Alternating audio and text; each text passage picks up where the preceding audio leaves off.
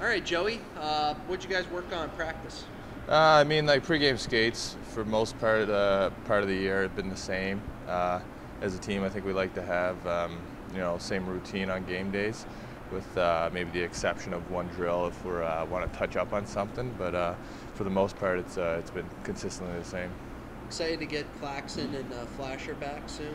Yeah, for sure. I mean, uh, last this whole month between call-ups and injuries it's been uh, it's been a battle, but uh, you know, getting Clackson back and getting Flasher back would be a huge help to the lineup. What do each of them bring?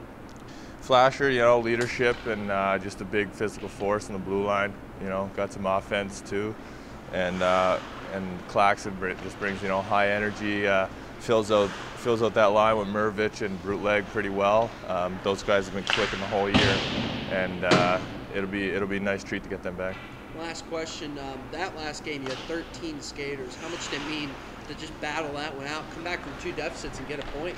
Yeah, I mean, uh, I think we did a good job of getting ourselves uh, prepared for the game. You know, everybody was pretty, uh, pretty jacked up, and you know, going up against the odds, and you know, our D-man, four D, nine forwards. It was, uh, it's pretty, uh, you know, David versus Goliath uh, kind of game, but we played well, and you know, we were we were happy to get the one point, but we would have liked to win.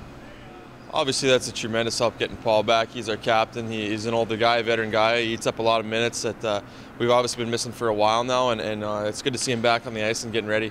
That last game, you only had four defensemen. How'd you make it through? How big was it to come back from those deficits and get a point? Uh, it was obviously huge. I mean, only 4D. That's that's uh, that's a lot of minutes for the four guys that were playing that game, especially in a, in a three and three situation that we had. Uh, but I, I, think we handled ourselves pretty well back there. I, I, think that you know, obviously not getting the two points was still disappointing, even though we only had that many players. But uh, you know, you know, grabbing a point on, on a three and three with that many players, uh, we were pretty proud.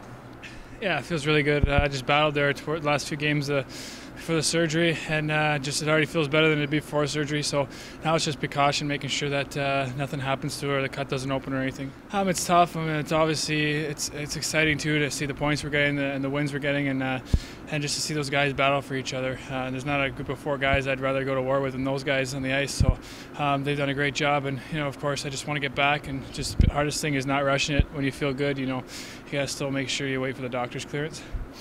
Absolutely, it's great to be back. You know, it was tough being out for a while, but uh, definitely nice to be back.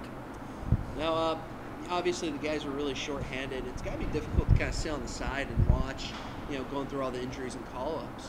Oh, absolutely. You know, you always want to help your team. You always want to be out there playing no matter what, and especially when the team is a little short-handed and they could use you, especially at that time. You want to be out there, but again, you have to be smart about an injury. Um, you know, go back for one game and not missing another month it's so uh, bide your time, and I think I'm ready to go now.